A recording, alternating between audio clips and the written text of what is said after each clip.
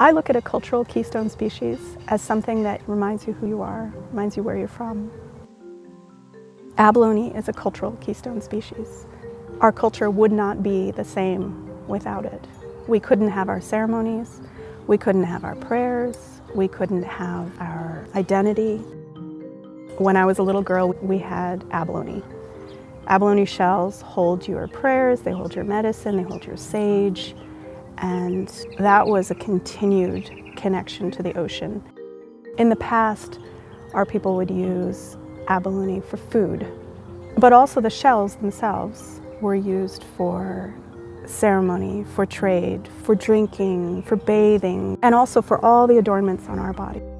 Looking forward in time, we're still using the abalone for the same things, just not for food. And the scarcity means that we hold it much dearer.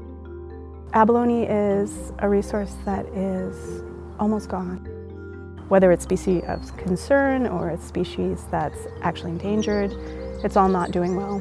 And there's a lot of efforts to study it, to try to reintroduce species, but it's slow and climate is changing fast. And I'm hoping that scientists and indigenous practitioners can work together on policy.